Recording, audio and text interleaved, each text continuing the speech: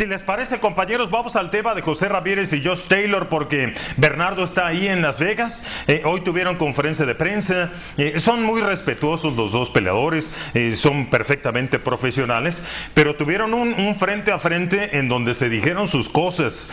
Técnicamente, boxísticamente y, y en tema de ambiente y de COVID y de todo esto, Bernie, ¿cómo han cambiado las cosas en Las Vegas? Cuéntanos cómo te fue hoy. Muy bien, afortunadamente, porque ya va a haber audiencia. Aquí están limitados, van a ser 1.600 personas las que van a permitir entrar aquí al nuevo Hotel Virgin, que era el, Hard Rock anteriormente. Pero es importante porque vimos un frente a frente donde ya se podían decir las cosas en el estado de Nevada por primera vez. Eh, quizá desde la pelea de Tyson Fury en contra de Deontay Wilder en febrero del 2020. Pero muy respetuosos, pero los dos muy confiados. El, equipo de, Taylor piensa que Ramírez está teniendo problemas con el peso, no parece ser así. El mismo Ramírez nos dijo en una reunión que tuvimos con ambos pugilistas de que sí, todos sacrificamos para dar el peso, pero estoy en excelentes condiciones físicas. Ambos saben que este es el combate más importante de sus respectivas carreras. En apenas 17 peleas, Josh Taylor no solamente se coronó campeón, sino que unificó en contra de Regis Prograde, que muchos pensaban era el mejor 140 del mundo en ese momento, ganando el, torneo eh, World Boxing Super Series y el trofeo Mohamed Ali. Después tuvo la, pelea eh, mandatoria similar a lo que pasó con eh, el Canelo y Gildirim, fue en contra de Apinun Song, lo acabó en un round. Y, y 19 meses con un solo round combatido es la gran incógnita para eh, Josh Taylor. En cuanto a José Ramírez, la última vez que lo vimos fue en contra de Víctor Postol eh, a finales del año pasado durante la pandemia en una burbuja donde él sí, esa pelea se canceló tres veces y dice, en esa ocasión estaba solo, mi familia no estaba conmigo, había hecho tres campamentos, estaba desmotivado completamente, pero para este combate tengo una hija, Catalina, recién nacida, mi hijo Mateo, mi familia está aquí, estoy entero y voy por todo porque quiero ser el primer peleador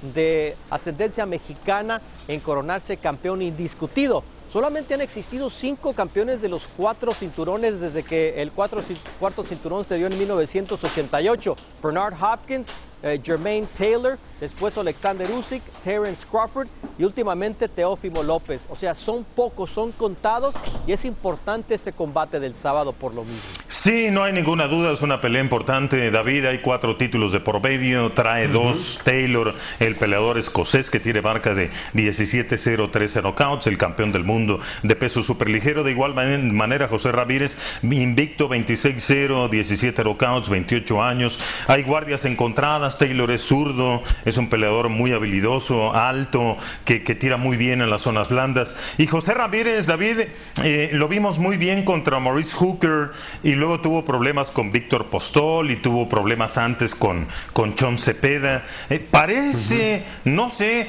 quiero escuchar su punto de vista, pero parece ligeramente favorito Josh Taylor. ¿eh? Sí, tú lo mencionabas ya en la cuestión de que es un boxeador zurdo.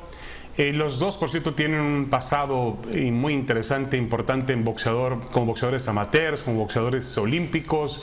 Han llevado una carrera muy progresiva, muy, muy interesante. Y yo creo que veremos el choque este sábado allá en Las Vegas. Bernie verá eh, presencialmente una de las grandes, grandes batallas que puede ofrecer el boxeo actualmente. Espero que los estilos se complementen, creo que se pueden complementar. Obviamente eh, estoy contigo, Jorge Eduardo, me parece que Josh Taylor tiene más habilidades para poder eh, presentar un plan de pelea y también hacer los ajustes necesarios durante el, combate para ajustarse a lo que ofrezca José Ramírez. Me parece que es un boxeador con un poco más de habilidades encima del ring. Pero Ramírez, para empezar, es un boxeador de sangre mexicana y es un tipo que va a lanzarse con todo. Además es una noche muy importante, la noche más importante de toda su carrera profesional y yo creo que su manera de ir al frente, su alcance, su, su, dominio de la distancia, el, el volumen de golpeo que tiene, puede finalmente terminar imponiendo condiciones. Yo veo una pelea de pronóstico reservado, veo una pelea de alarido, si se adaptan los estilos que pueden adaptarse pero sí, eh, quizá ligeramente favorito el boxeador escocés.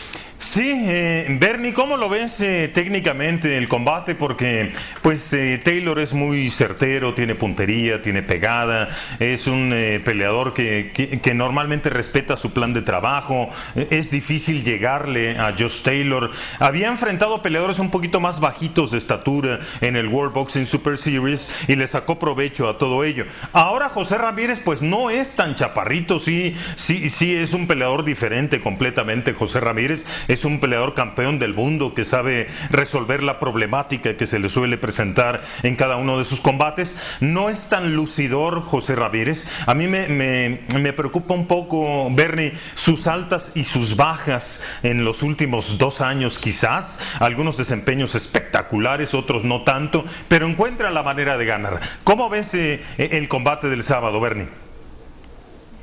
Esa, esa última frase lo es todo para José Ramírez. Siempre ha sido subestimado desde los días como un peleador amateur acá en Estados Unidos, donde pues tenía que enfrentar a peleadores más atléticos, más rápidos y siempre encontraba la forma de ganar a tal grado que representó a Estados Unidos en los Juegos Olímpicos. Pero también en, en el aspecto profesional ha sido subestimado siempre y él mismo dice, yo lo entiendo, pero también ustedes tienen que entender que siempre encuentro la forma de ganar.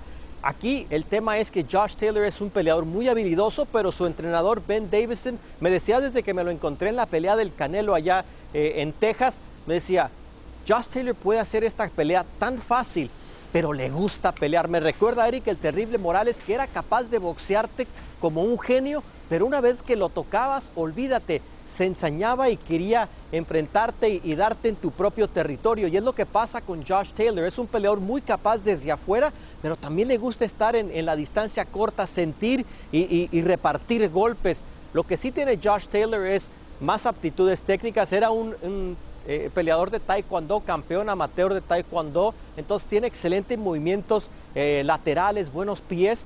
Y la otra cosa, el 40% de sus golpes de poder son conectados al cuerpo. O sea, el sello de la casa mexicana lo tiene a favor Josh Taylor por encima del 24% del- de la efectividad al cuerpo que tiene un peleador como José Ramírez. Hay muchas formas de ver este combate, pero las intangibles de José Ramírez es algo que no se puede medir, algo que solamente lo vivimos arriba del ring al momento del combate y esa podría ser la gran diferencia porque Josh Taylor es más completo, es más rápido, es más boxeador, pero ¿qué tal José Ramírez? Él tiene otras cosas que no se pueden medir que lo han llevado a la victoria y no sabe perder. Es un, un joven que su mamá lo llevaba al campo, a la pizca desde muy pequeño y después de que terminaba exhausto se iba al gimnasio. Tiene un hambre, tiene una sed de gloria y eso no se puede medir.